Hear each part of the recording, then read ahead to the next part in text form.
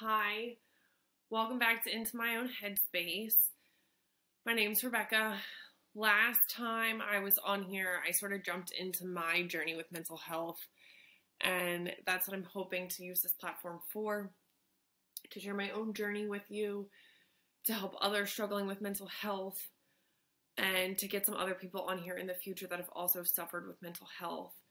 So, I want to put a kind of disclaimer out there I do talk about my personal story, what I've personally gone through, drinking, self harm, and if any of those things will trigger you, um, please listen at your own risk or don't listen. Um, I just want to put that out there. I don't want to trigger anyone and anything that I may talk about. I'm just hoping that my story will help others out there. So last time I left off um, with me getting pulled over and getting a DUI. So I'm gonna pick back up there. Um, I was just going through some stuff, some pictures on my phone, um, and actually trying to pull up if I could like pull up what I used to have to check in with. Uh, so it actually happened in the fall of 2017. Um, I think I was thinking it was the fall of 2018, but it was actually the fall of 2017, uh, right before I left that barn job. So fast forward, I or not fast forward. So I went back to work the next day like nothing had happened. Um, my car got impounded. I had to pay a couple hundred dollars to get that out. I and then I started the process. Um, I didn't know what was going to happen. I didn't know what it was going to be charged with, how aggressive it was going to be, my fines, nothing like that. Um, until I started getting papers. Um, I blew a .23, I believe, um, well above the legal limit. Uh, so I was charged with a DUI. Um, that's a year without your license. Uh, in the state of Pennsylvania, it was my first offense in the state of Pennsylvania for driving under the influence. However, I have a previous charge, um, which is no longer on my record. I got in trouble when I was down at senior week as a senior in college or in high school back in 2010. So you can get in this first time offenders program and they basically expunge it off your record if you do community service and you take classes and you do all this stuff. I got it dropped. So it's expunged from my record. However, that counted towards this as well.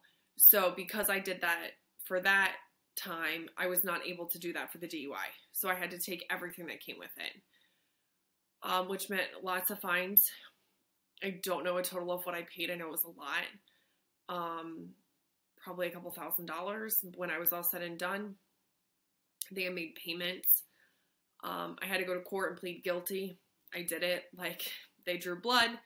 They had my breathalyzer. There was no, I can't deny what I did.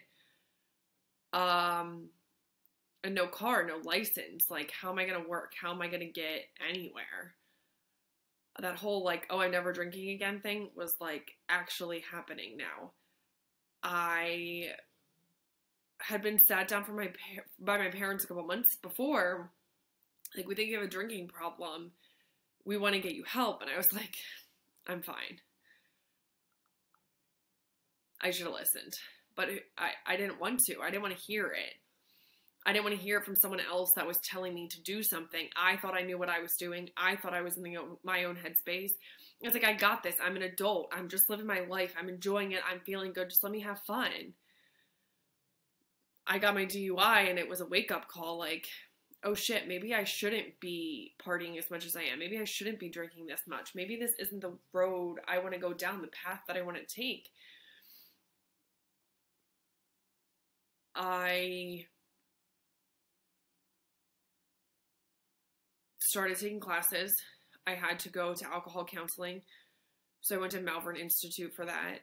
Um, and sat with a bunch of other people that were in there for DUIs from a number of things from like their second and third DUI to a mother who had one glass of wine and was driving home from either lunch or dinner with her kids and got pulled over, and then also got charged with reckless endangerment because she had children in the car. So just like that, one glass of wine, your entire world can instantly come crashing down on you when you're driving home. It's scary. You might think you're okay, but that doesn't mean that your breathalyzer and your blood work is going to come back and say you're okay. Everyone processes alcohol differently. It depends on when you ate that day, how fast your body processes it, what kind of alcohol you had. There's so much else that goes into it. Which learning through all this stuff, some of it I was like, do I really have to do this? But I got it. I had to do it you meet a lot of people along the way too. People that had been worse off than you had and people that had just kind of, you know, you think like wrong place, wrong time, but they could have hurt someone else or someone else could have hurt them or you just never know. So I took my classes. I was just looking back on it. So I probably did that like I got my DUI in October September, October of 2017. So I think I started classes right away. So November, December 2017. Um, I left there in February of 2018. I finished my classes, and in order to get my interlock in my car, I had to do all of this. So I wanted to drive. I wanted to work. Um, by this point, I was working for my parents and I was going to try to start working at a gym and but I had to be honest with people like, "Hey, this is what happened. I'm trying to get my life back together, but I want to work." So, in order to do that, it was an interlock. So, I had to blow into a breathalyzer to start my car. I had to pay to get it installed. And I had to only take it to a certain shop because only certain shops know how to deal with things like that. So they had to put it in my car for me. I remember that cost me three or four hundred dollars because I have like a push to start car. So it's a little bit more complicated and they try to hide the wires and he's like, I did the best I could. I'm like, whatever. I don't it is what it is at this point. Like, I gotta have it. Plus my court fees, plus my fines, plus my counseling, you pay for all that. So when they tell you like you can't afford a DUI, it's like real. It happens. It's so much money. Um, it probably cost me more than five grand all said and done. Probably closer to seven to eight. Um, if I would add up all my interlock fees and my counseling fees and my court fees and my fines that I paid, all of that stuff to get my car out of the impound lot. So I can only take it to this one shop. I if I failed it, so at this point, I wasn't drinking anymore. But uh, mouthwash would set it off. If I brushed my teeth and like I didn't rinse well enough, and then I went to start my car, it would fail me. And it like failed you once, and if you didn't rinse quick enough and like try to blow into it again, it would fail you. If I had an energy drink, fail me. There's sugar alcohol in there. It finds that. Listerine, good luck. You're failing. Um, and like they told me it was sensitive and then you sometimes you forget or you like brush your teeth, you hop in the car, you try to blow into it, and you're like, shit, here we go again. You have to pass. If you don't pass, it fails you. So you have seven days to take it back to the shop and get it recalibrated, which costs you more money. If you don't do it within that seven days, you're totally locked out of your car. And then essentially you would have to get your car towed to the shop to have them replace it. So the first time I ever got locked out, I lost it because I thought that if I just got locked out, my car wouldn't start. So it's a very big learning curve. It's very stressful. I was very anxious because you're driving, you're driving, and all of a sudden it beeps, beep, beeps, and like you have to blow into it within a matter of time. So you have to stay driving or you have to pull over and blow into it, or it fails you.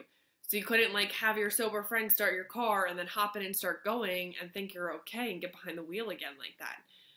So it's constantly going off. If you don't blow hard enough, it doesn't register. I didn't know how like little lung capacity I had until I had to try to blow into a breathalyzer to start my car. But I wanted to work. I wanted to be able to go places, so that's what I had to do. Excuse me. I joined AA. I finally took my parents' advice. And I reached out to someone who was involved in the program and put me in touch with a woman at the time who was around my age so six years ago, so she was in her early 20s too. Um,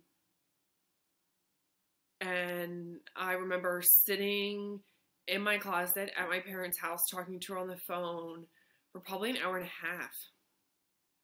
Um, talking about my drinking in college, talking about my DUI, talking about my drinking outside of college, my anxiety, my depression, and just like drinking numbed it. And she got it. She listened. Um, I'm getting chills just talking about it. She had a lot of the same things that she went through just as I did. And it was really easy to talk to her. I had never talked to this girl before. I never met her before. I had no idea who she was from like Sally down the road. But we were it was just easy to talk to her. I felt like I could trust her and I she was part of it. So she set me up with my first ever meeting. Um I went to one in West Chester. It was a bunch of young people and that's what she told me. And she's like, You're gonna look for my friend and she's gonna help you. And so I go meet this girl and call her by her nickname, which was funny because it was like what she popped up in my phone as as this other girl sent me her number. And she's like, Why are you calling me that? That's not my name. And I was like, That was your contact. So I was slightly embarrassed. They were all kids, like, I don't know, I call kids, like in their early 20s. Like, at this point, I can't do the math off the top of my head. Um, I was 25, 26. Um, there were guys and girls in their early 20s, mid to late 20s, 30s. And I sat down and they welcomed you to the meeting. They asked if anyone was new. You walk up, which I hate going in front of anyone. So to me, I was like mortified. And you get your 24 hour coin. Um, they're my parents' house. I wish I would have brought them home to show them on the video. I'll bring them next time. I have seven. Um, you get a 24 hour chip. You've been sober for 24 hours. And sometimes they had a speaker, sometimes they hit a topic, they'd hit like a chapter or page out of the big book um, the big book's like this thick, huge book that's called Alcoholics Anonymous. And it has 12 steps. And it fucking works. Um, I met more people at that meeting. They invited me to other meetings.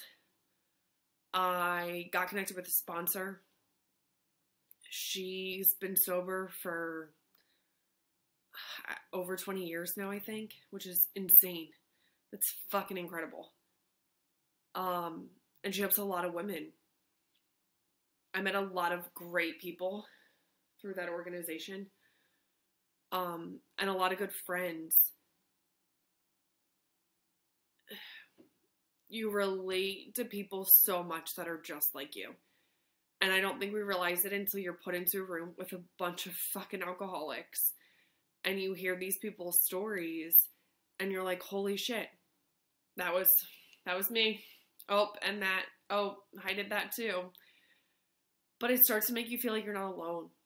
It starts to make you feel like, wow, I'm not the only person.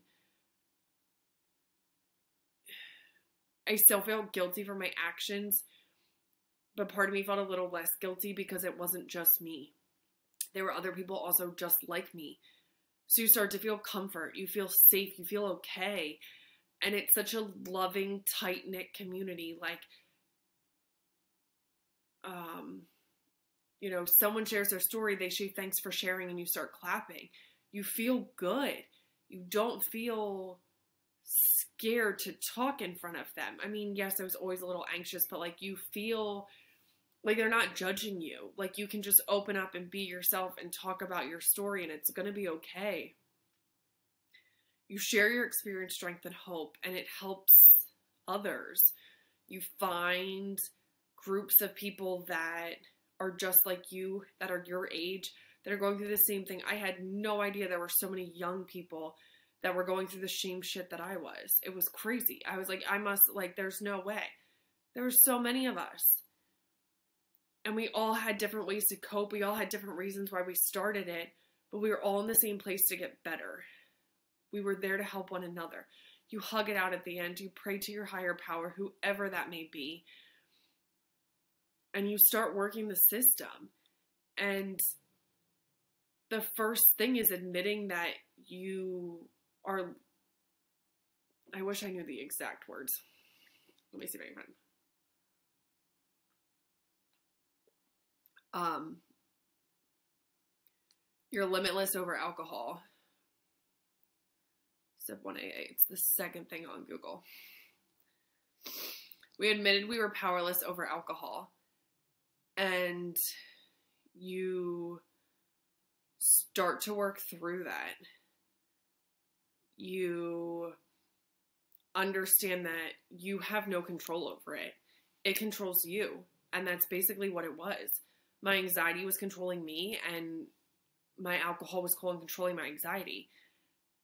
And I didn't know that I wasn't controlling anything. I wasn't in control of my own life anymore. I was letting my anxiety and my depression just burn me down and take me out. And I was letting alcohol make it better. And it didn't really make it better. It made it worse. So I got started, I started to be held accountable. Excuse me. I, like I said, had a woman who helped me through the 12 steps. Um, I never made it all the way. I made it to making an amends. Um, but I worked through it. I went to different meetings. I spoke at my first meeting. Uh, oh, that's the 12 principles. I wanted the 12 steps. That was scary. Uh, I didn't know what it was going to be like, but I knew I needed to.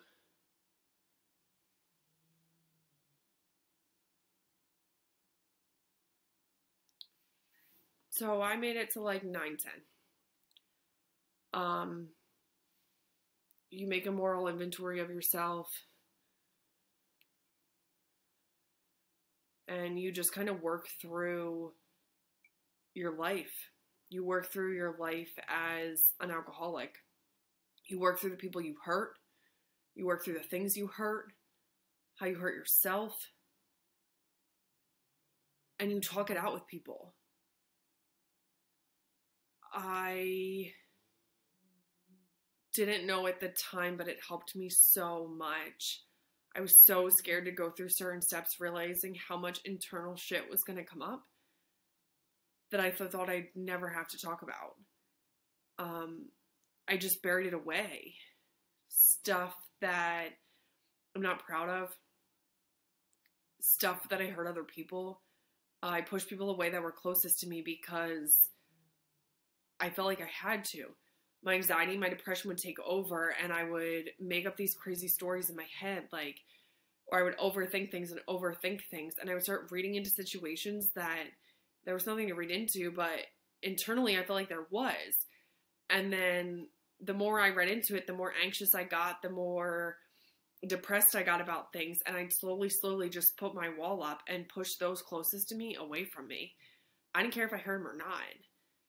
At the time, I was like, well, if I hurt you first, then you can't hurt me. If I push you away first, you're never going to hurt me. And I put my guard up.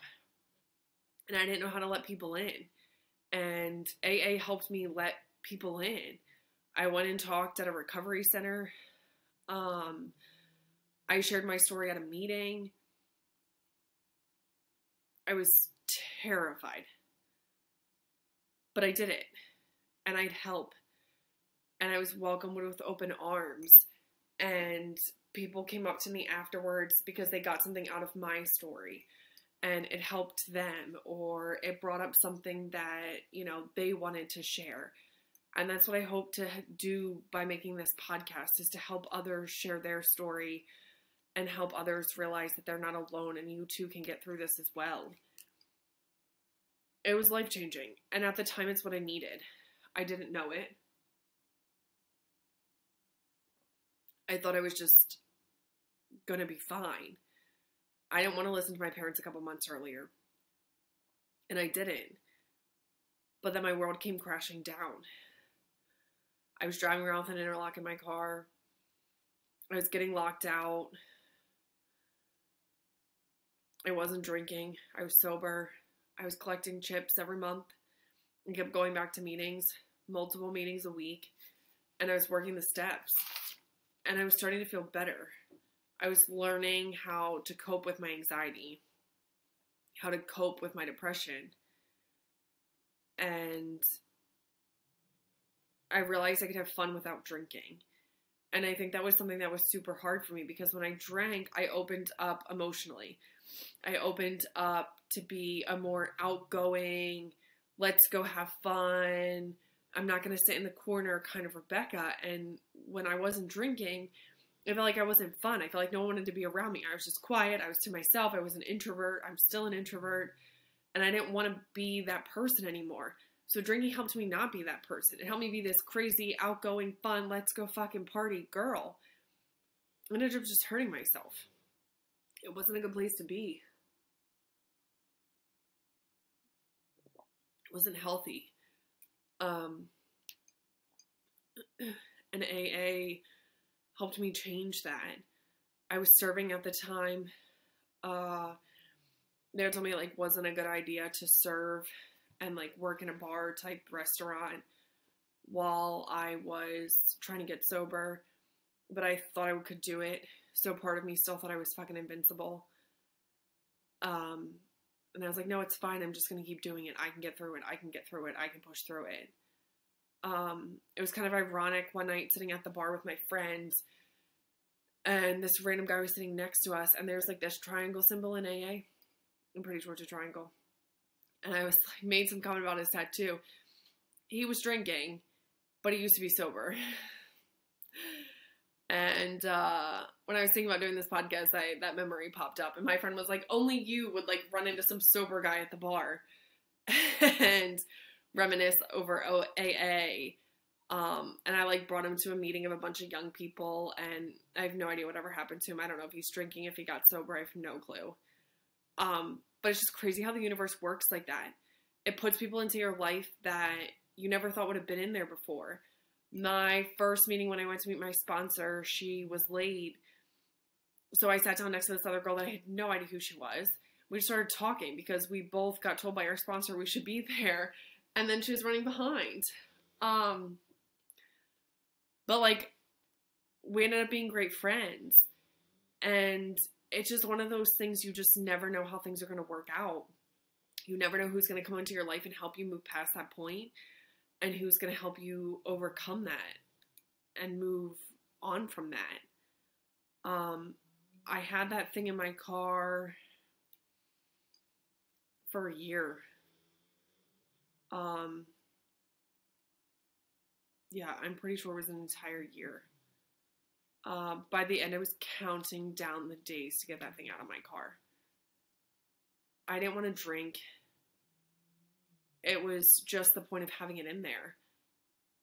It was like just an, it was a constant reminder of where I used to be. That constant reminder of where I never wanted to be again. And it forced me to remember it and live through it every single day. And I couldn't get rid of it. I had to keep it in there until I was told I could take it out. Um, I went to AA for six months. I remember going to Florida. Um, by this point, I was off probation. So I was also on probation for my DUI. So I had to check in with a probation officer. But because I was a good kid, and I wasn't a flight risk, I had to call them or email him. So be like, I don't know, Tuesday during the week or like once a month on Tuesday, I'd have to like email him or text. I'd have to call in. That's what I have to do. I remember sitting in an AA meeting being like, shit, I didn't call my probation officer out today. They're like, that's okay. You can just call in. Like, it'll be recorded. So I called in and you have to like hit numbers like has your address changed? Have you smoked this week? Have you drank this week? Have you done this? Have you drunk drank under the influence? Have you done this? Like, are you still working? Are you still this? Are you still that? And you like hit your numbers for everything, and then you hang up, and that's it. And it was as easy as that. but it was one more thing to hold me accountable, one more thing to keep me sober, one more thing to keep my head out of my anxiety, my depression, but also a reminder of where I came from and where I did not want to go back to. Um,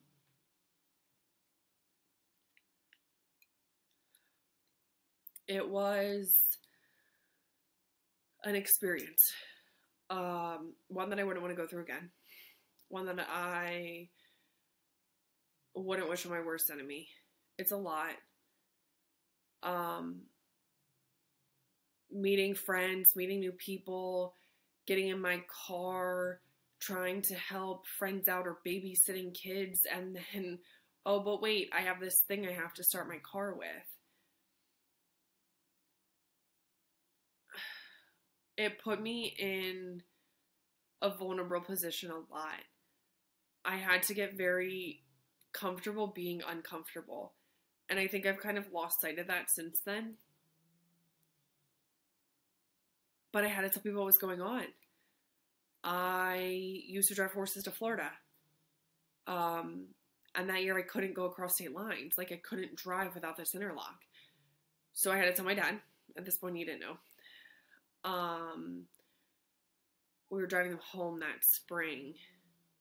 Maybe it was that December. It was that December. Um, we were driving them down for the winter, so I couldn't drive without that. Um, and I couldn't get caught across state lines without an inter like without having my interlock. So I was allowed to leave, but I couldn't be driving behind a car without an interlock in it, and I couldn't put one in their truck. So I had to sit passenger while my dad drove 21 hours so that I could be there to check on the horses, but I couldn't drive. Talk about making you feel shitty. I had to tell people I was going to work for. I had to explain it to them. I had to get vulnerable. I had to get embarrassed.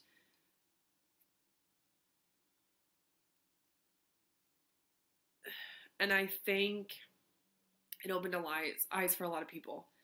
I think I had friends that didn't realize how easy it was to do it.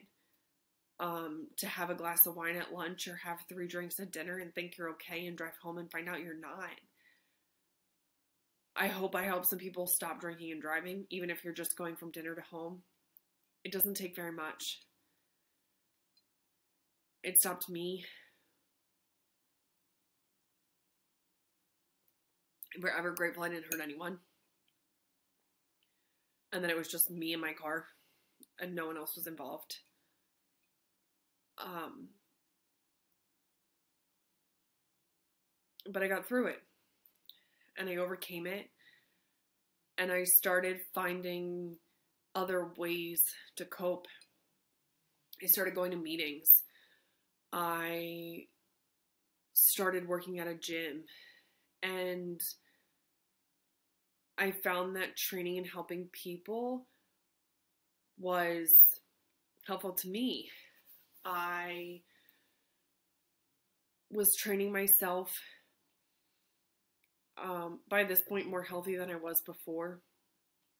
I didn't go out on benders after I was drinking and then take a fat burner and then go live on the stair machine because, yeah, I did that. Um, I didn't drink anymore, so that wasn't an option. I just was working out. I was working and I was trying to leave that old me in the past. It changed who I was. It'll never leave me, but I can overcome it and now I can talk about it. I needed healthier coping mechanisms. I needed ways to get through those dark days and not take it out on myself. Because essentially, drinking and the self harming, I was just taking it out on myself. And then hurting the others around me while I was doing that. I signed on with my first bodybuilding coach in August of 2018. And I said I wanted to do a show. I think I needed the restriction. by that point, I wasn't in AA anymore. Um, I kind of pulled myself out of it. I'd gone on a trip. I had one cider at lunch, and I came home, and I remember feeling so guilty that I had to tell my mom, like, I have to tell her I did this. She'd be so disappointed in me, and she she was. Um, I think she thought I was going to go right back down that hole, right back down to where it was, right back to drinking all the time, right back to just using that to cope. And I didn't. I said I wasn't going to. Um, I had to come clean in AA about what I did. Um, I didn't go back after that. I knew that I couldn't go back if I wanted to like go have a drink with a friend. I couldn't it wouldn't be honest. And I wasn't going to keep going to something that I couldn't be 100% truthful in. So I just stopped. I think my time there was up. And I thought that I could handle it on my own. And I did. I had self control. I wasn't using it as a coping mechanism anymore.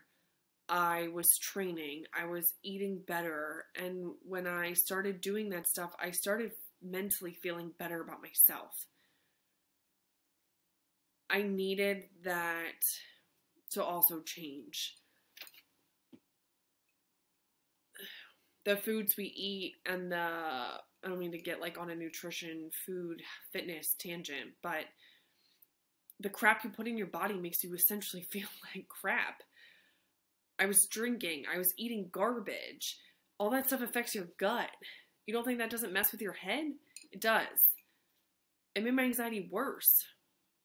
Because I'd wake up feeling like crap, or I'd feel bloated, or I'd feel crappy when I looked in the mirror because little did I know, like, I just drank five Jack and Double diets, or Diet Coke, Jack and Diets last night, doubles, plus whatever food I decided to eat. And then I would come home and maybe I'd eat like I don't know, whatever I could find in my parents' pantry. And then I'd wake up the next morning and feel like crap, and then I'd be like, eh, I'll just take this fat burner and go live on the stair machine. That jacked up my gut like no other. It jacked up my head. My hormones and my cortisol level had to be through the freaking roof. I was stressed. I was stressed about life. The first time I ever got blood work done, I'll never forget the doctor asked me, he's like, What is so stressful? You're 26, 27. He's like, your cortisol is like a 22. He's like, what is stressful? And I was like, life. like, that's what it is. That's what I thought. That's how I was. Like, I overthought and overanalyzed every little fucking minute detail of my life. Like someone said hi to me, if they said it in a different tone or they didn't look at me, I'd be like, "Oh my god, do they like do they like me? Do they hate me? What did I do wrong? Did I do this? Did I do that?" Like Maybe they think I'm someone else, or like maybe they remember me from before. Maybe I'm like, it's insane. I would drive myself crazy and tired with the amount of spinning my head would do. But it was my anxiety. Like, I just constantly overthought and overanalyzed every situation. Drinking calmed that all down. It made it less. And that's why I did it. But now I don't have that. Now there is no drinking, but my anxiety is still creeping up. It's still there. It's still part of me. So now I go to the gym and I let music and the weights be my outlet. I started getting obsessed with that and a healthy obsession in the fact that I had a coach that kept me on track for food and exercise. So never to the point where I was over exercising and under eating. So that became too extreme, like drinking did. I never hit that point in exercise. And that structure kept me on point. When I started prep for my first show, I wasn't allowed to drink. So by this point, I would like, you know, if I was out to dinner or something, maybe I'd have a glass of wine but I wasn't drinking like I used to. And then as soon as prep started, that was it, no alcohol. And I did it and I felt fine. I didn't need that void filled anymore. I didn't need that alcohol to feel like that outgoing person that needed to break free of that shell. And it changed. But my anxiety still kept up, crept up, and it still creeps up, and my depression still creeps up. But it hits in different ways now. When I started competing, I was on a meal plan and I was dating a guy who I'm still dating. Um, and I would go, we'd go like to, you know, a party with his friends, and I'd bring like my Tupperware because I was in prep, where I was like, oh, I have to eat on my meal plan. My dad used to make fun of me. He'd be like, you can eat it. You're just not choosing to. Because I'd be like, oh, I'm not allowed to eat that. And he'd be like, you're allowed to. No one's telling you you can. I'm like, yeah, yeah, yeah, I get it. But I needed that structure. I needed that guidance from someone to be like, hey, here's a healthy way to go do this. Let's go try it. And the amount of mental strength I gained through that process was amazing. I felt better about myself. My confidence started to come back. When I had a bad day, I still went to the gym or I went for a walk. I had a goal in mind, and that's what kind of helped me get through those bad days. Other bad days before I started that, I had no goal. So it's just like, I'll go to the gym. But if I pulled in and I got too anxious, I would just turn around and go home. And then I would just fester my own anxiety. I wouldn't, I never overcame it. I didn't get through it because I didn't. I didn't go in. I just turned around and went the fuck home. So like I never worked through that because I was I just let it happen. And now I had a goal. Now I had something I was working towards. And I didn't want to let myself down. I didn't want to let my coach down. And I was going to fucking do it no matter what. But it helped me realize that on those bad days, just going for a walk with a dog or getting active could totally change my mood. It changed my endorphins. It got me feeling better and like a little bit of movement could totally change my attitude. Um, it made tea. Was cold. It's a weird weather day in Pennsylvania. Uh, but it helped. And I think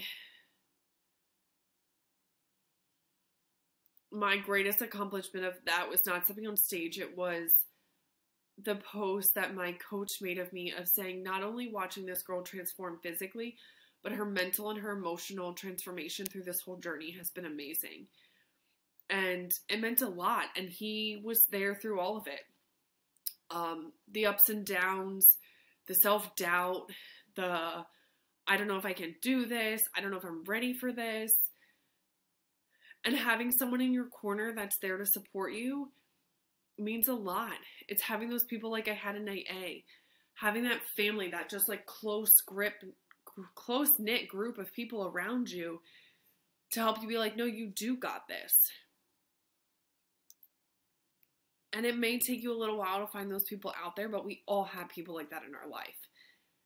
And you don't just want to stop trying to find them. They'll find you or you'll find them when you least expect it.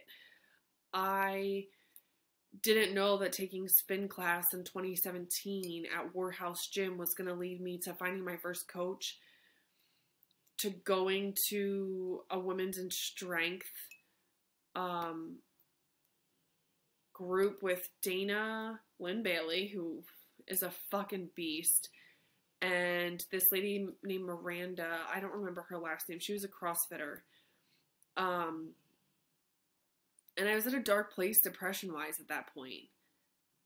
And I was like, I just got to make it to this event. I just got to make it to this event. And you make it through the event and you're like, wow, they have bad days too. Social media is not all glitz and glam. It is. It's all like that perfect lighting, that perfect angle, that perfect tan. But behind closed doors, we're all people.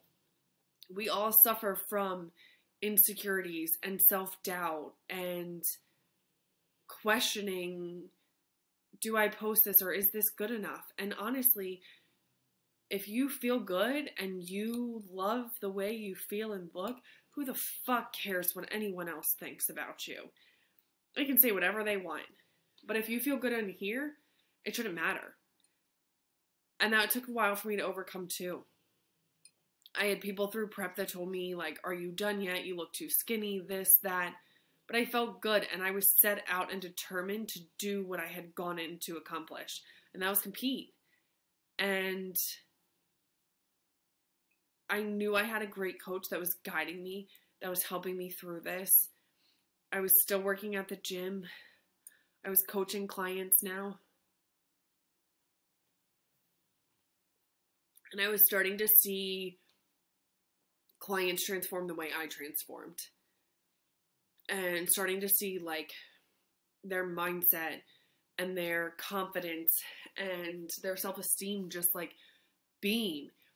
And I think that's what helped me. I don't mean to get so fantasy. Um, but it gave me that missing piece. Alcohol gave me that missing piece before. It built that confidence for me, but not in a healthy way.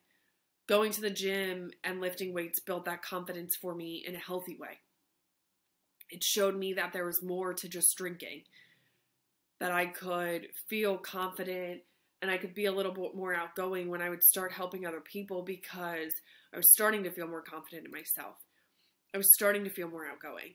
And it's not to say that I don't still have bad days, because believe me, I still have them. But I've found healthier ways to cope with them.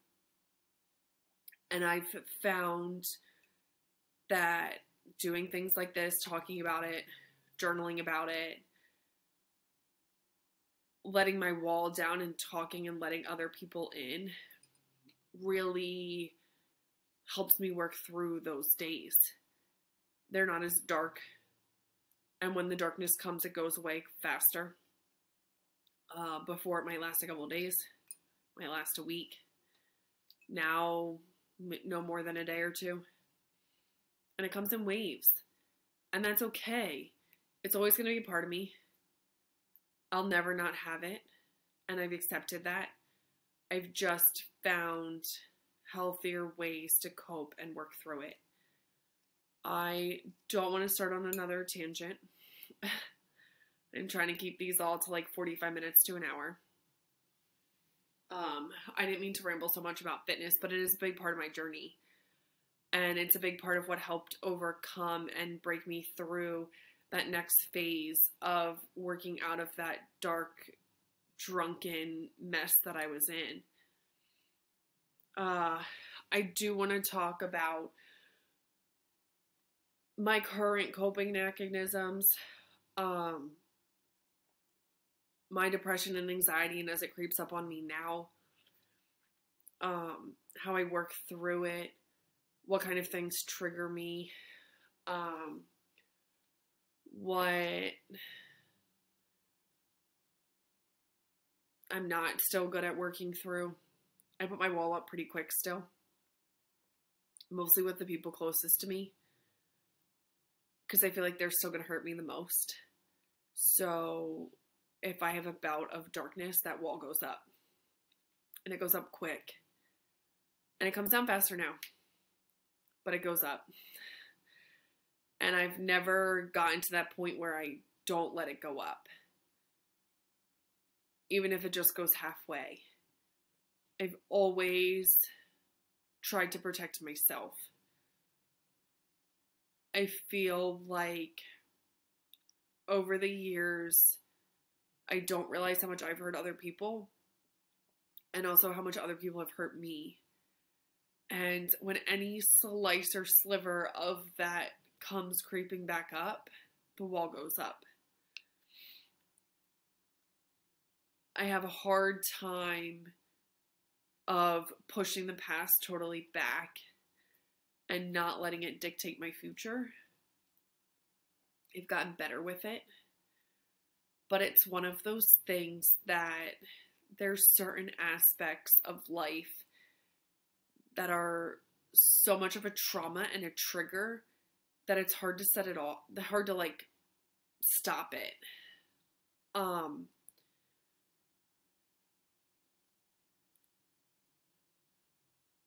those traumas can start to dictate how you live your life how you hold yourself back or how you treat other people around you how you show compassion how you show love how you talk, how you express emotion, how you don't express emotion. And again, like I said, it's things I'm working on. Um, I will start talking about that in the next episode. Um, I hope to do another two, three episodes of just myself talking, and then I'm going to try to bring some guests on. Uh, but I'll talk to you guys more next time about my triggers, my traumas, um, the things that kind of set me off still now. And sometimes I can't work through those. Sometimes I just shut down and shut out and I'm quiet. Some days I get so anxious and so just like overwhelmed with trying to do this for work or oh you need to do this and what about this and what about the, that and then oh wait you need to clean and you need to do this but oh you have a client so you're going here you're going here you're doing this and I just like want to shut my phone off and not do anything. And I used to do that and I can't now. I can put on Do Not Disturb. And I can partially shut the world out.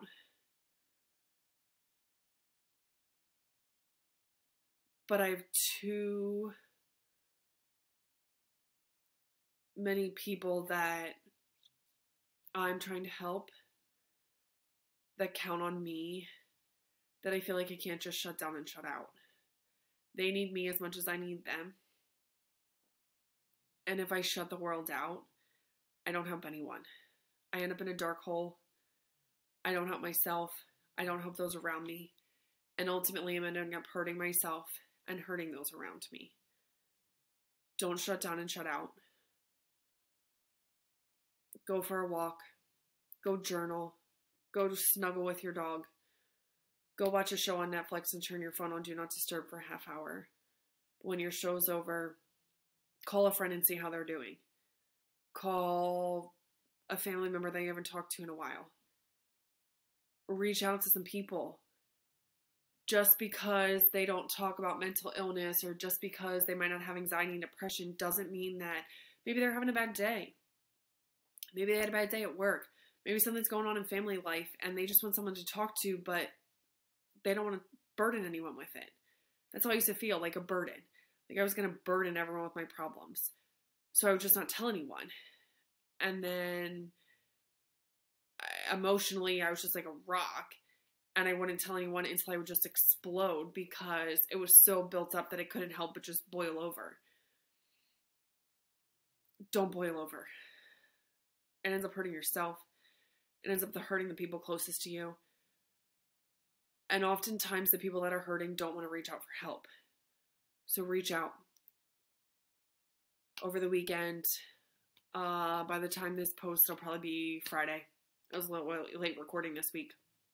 To reach out to some friends this weekend, reach out to some family members. If you ever need anything, don't hesitate to reach out to me.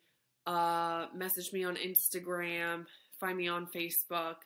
I'd be happy to talk to you. Um, if you or anyone you know is going through anything with mental health, anxiety, depression, any of that stuff, please reach out. Let me know how I can help. If you're interested in being on my podcast and sharing your story with me, I would love to talk to you. I would love to hear your story and how you're working through it. So please reach out. Have a great weekend if you're listening to this on Friday. And uh, I look forward to diving in some more into my current headspace on the next episode. Thanks, guys.